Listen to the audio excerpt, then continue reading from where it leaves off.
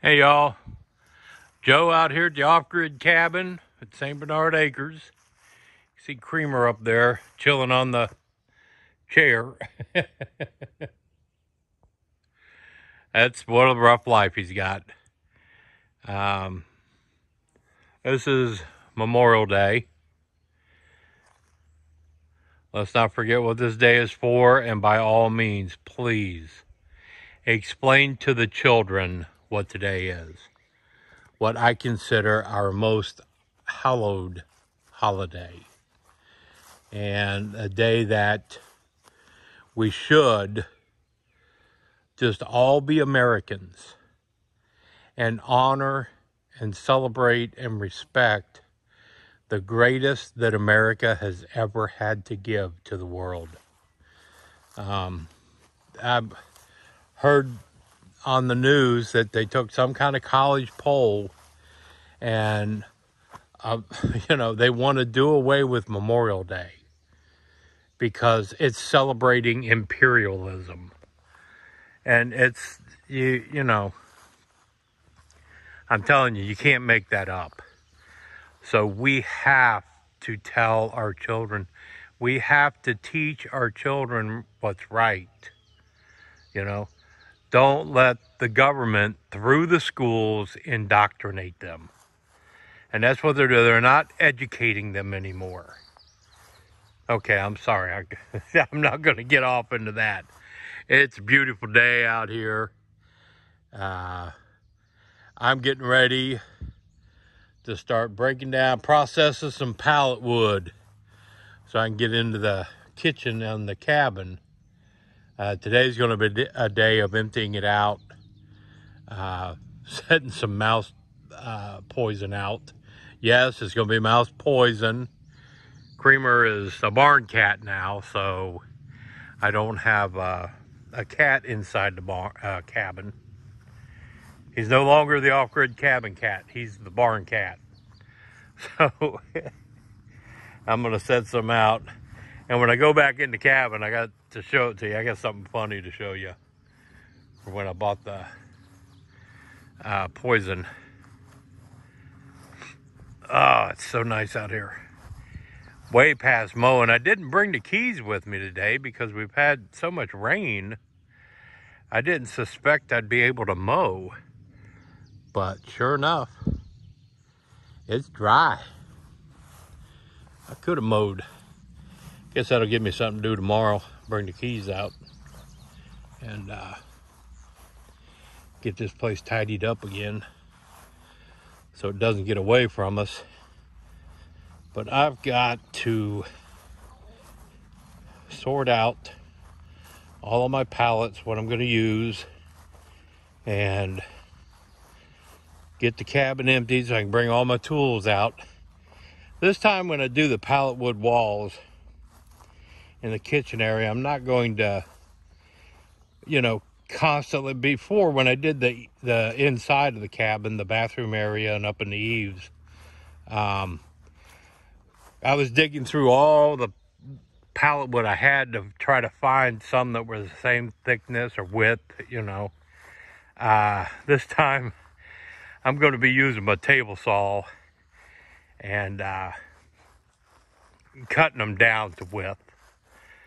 Uh, that just took too long to sort through the pile looking for individual pieces when I could just rip some down to my table saw. I mean, not every one, but where I need to match with, I'll do it that way.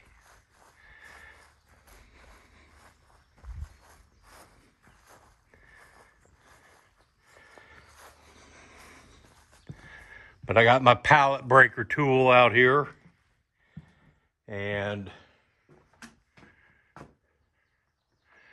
we're going to start on these pallets.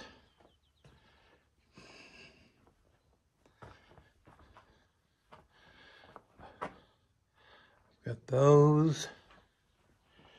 Um, these are primarily going to be used in the for the window trim all of this stuff because this is all rough sawn oak. Uh, and they're like three and a half, four inches wide, so they're going to be perfect. They're harder to break apart, but I got plenty of them. Um, like these. That's some good stuff. So I give you a good shot of that. Those are good ones. I got them over here. Those are awesome pallets. Then I have all of these to break down for the pallet wood walls. Let's see. Old rough cut lumber that was here when we bought the place. So I've got lumber. But yeah, that's plenty. This is going to be perfect for trim around the windows.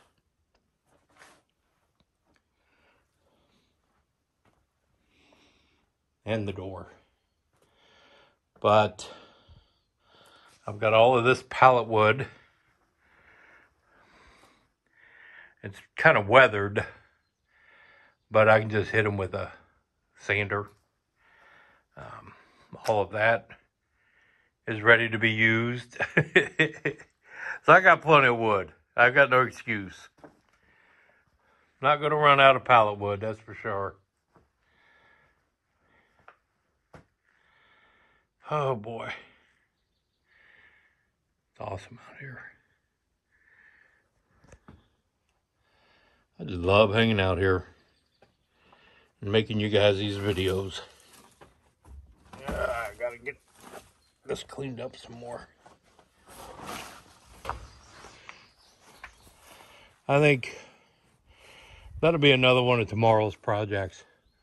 I'm going to get that cleaned up enough that I can drive through this bottom part of the barn. Well, I'm not going to get up over that, but I can drive all the way back to here with the trailer.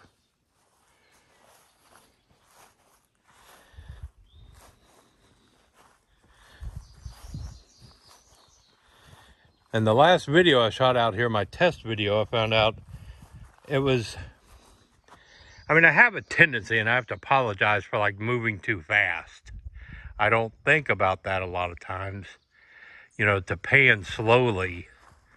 Um, but that was in HD uh, 180p, 30 frames per second. So now I've got it set for 4K, 60 frames per second, and see how that turns out. See if there's less blur when I do move.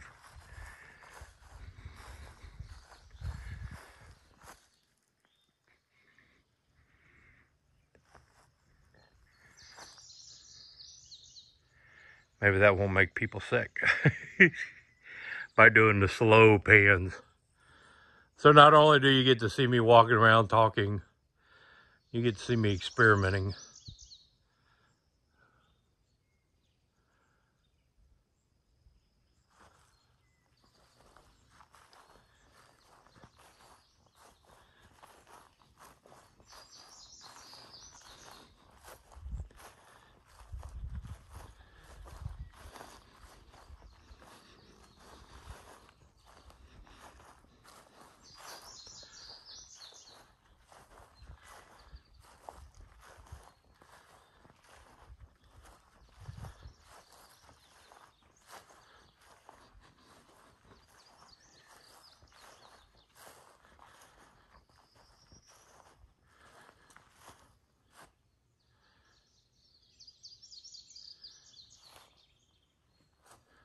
Let you listen to the sound of the birds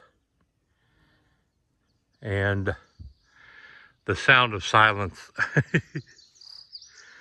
which out here can sometimes be deafening.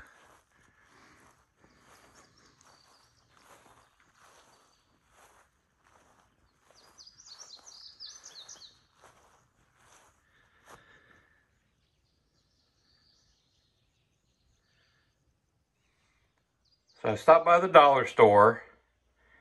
On the way in, I bought these.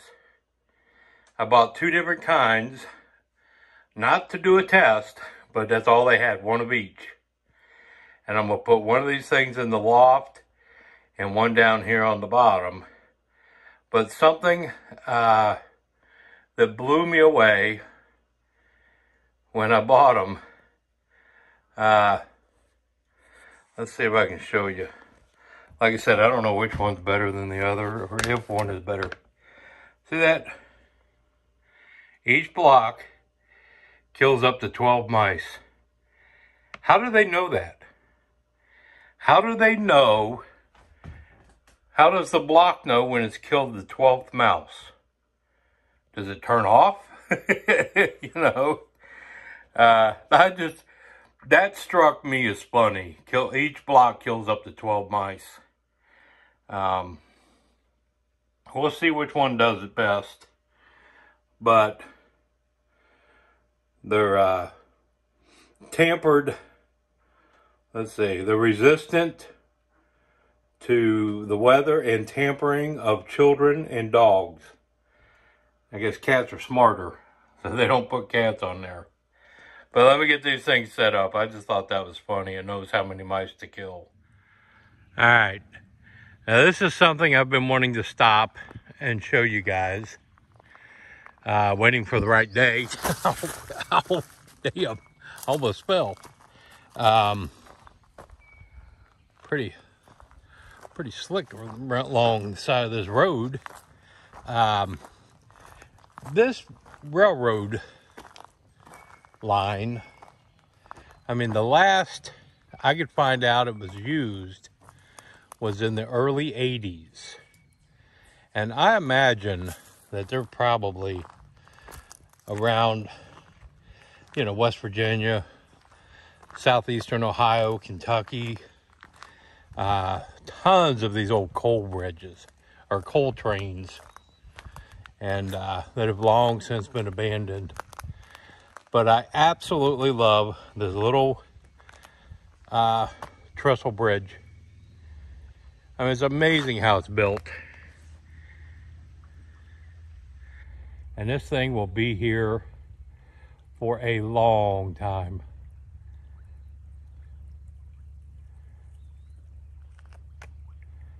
And across the street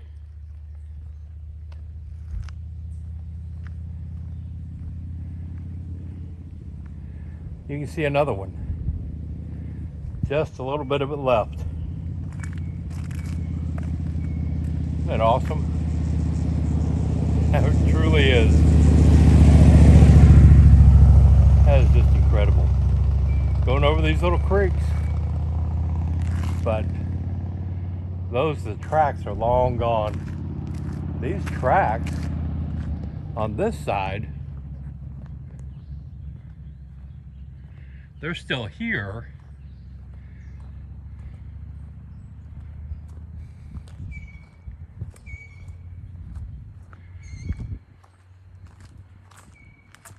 This is State Route 146 in Guernsey County. Uh, you can tell there's traffic going by. But yeah, how awesome is this?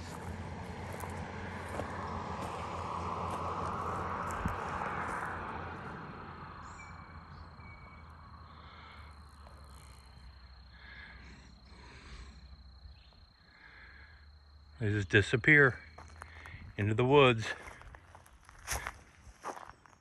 Now why that one is over there, I don't know.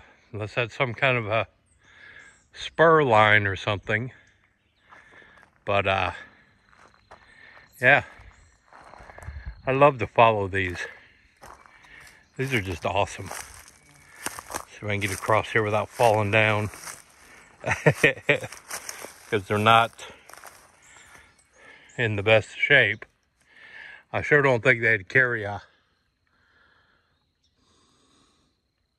train anymore. But this is just so cool. I love finding stuff like this. And if I wasn't trying to hold this camera, I would walk across this.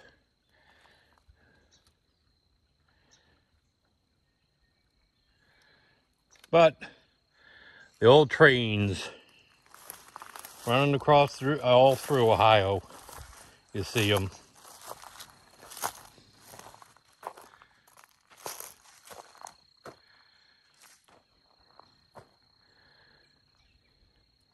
Right up around that bend is an old cemetery.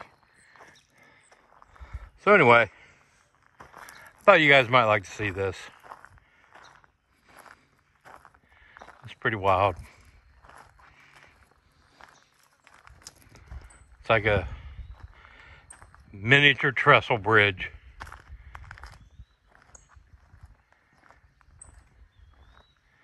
And just imagine how long that's going to stay there, how long that'll last.